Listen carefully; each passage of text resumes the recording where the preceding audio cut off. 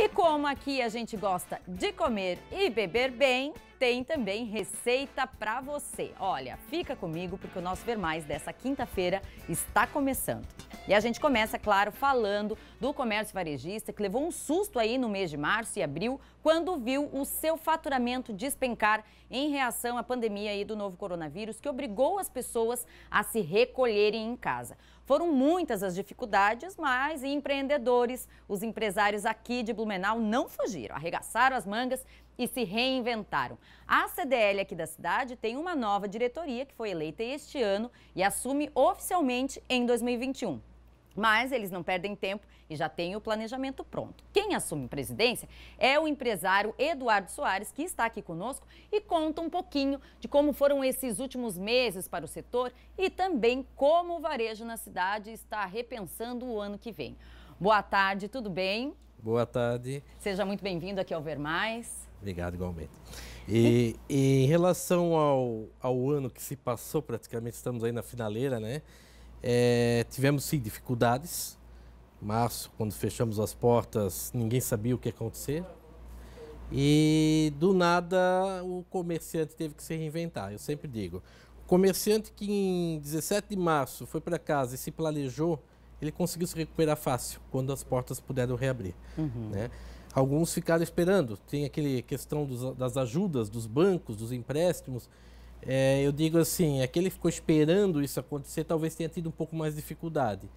A gente sempre fala, aquele que chegou dia 18 de março e começou a planejar os seus próximos meses, planejar os seus estoques, planejar as encomendas que ele tinha, como é que faria, né, o aceite de recebimento, prorrogação de recebimentos, é, talvez esse tenha passado aquele momento de uma forma mais leve. Né? Alguns se abateram mais e pararam, ao invés de reagir. Exatamente. Os pequenos, a gente sabe, os, os pequenos mesmo sentiram uma dificuldade com certeza muito maior.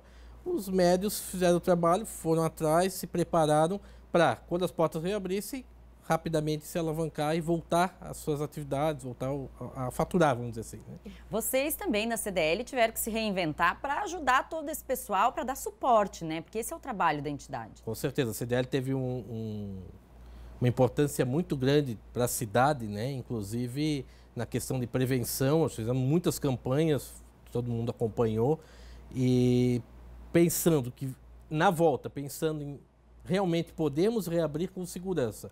Eu acho que foi muito importante as nossas campanhas, porque realmente o comércio reabriu, teve uma semaninha ali depois que tivemos que fechar novamente, mas conseguimos nos manter abertos com segurança. A gente provou que não é ali no comércio que o vírus se propaga, desde que, claro, todos fazem suas partes. E os nossos lojistas, eu acho que fizeram muito bem isso. Que bom. Ano que vem vocês já têm um planejamento pronto aí, né? Porque como você falou, tem que reagir e a coisa tem que ser pensada lá na frente para poder dar certo, né? A pandemia acelerou é, a questão da nova forma do consumo, né?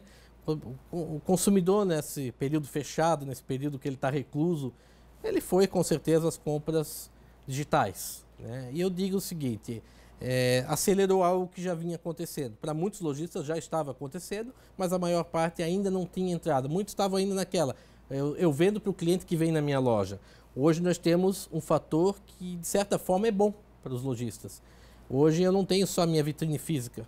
Eu consigo, com essa aceleração toda, todo mundo hoje, de repente, um lojista lá de bairro, no cantinho do bairro, consegue mostrar o seu produto para uma cidade inteira. É verdade. Né? Então ele pode trazer, é, digo assim, são três consumidores hoje. O consumidor híbrido, quer dizer, ele vai da loja, mas ele também olha o, um WhatsApp, ele atende por WhatsApp, ele atende por Instagram, ele vê o Instagram, né, uma roupa bonita, então, pô, vou lá naquela loja. Esse é o híbrido. Ele continua indo, mas ele está enxergando muito mais fácil a tua empresa.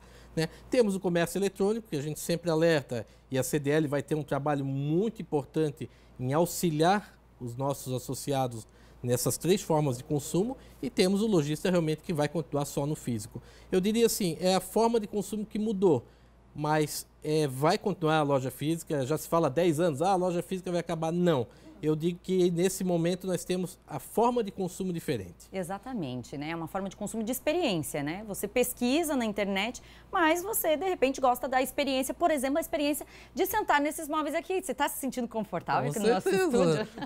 Com certeza. Olha, para quem não sabe, né, o Duca é responsável aqui pela decoração do nosso estúdio, por isso que eu fiz essa brincadeira, se ele estava confortável aqui.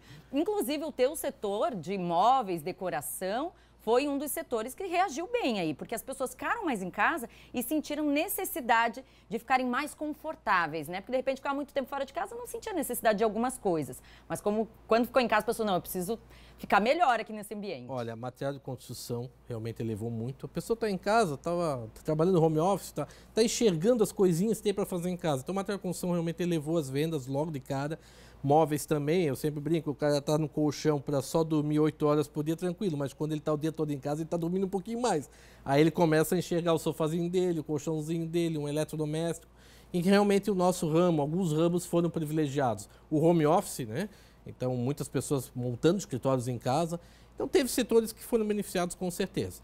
Legal, olha, Duca, muito obrigado pela tua presença aqui no Ver Mais. Seja sempre muito bem-vindo, sempre trazendo essas novidades boas aí que você trouxe para nós hoje. Com certeza. Obrigada, uma boa tarde para você.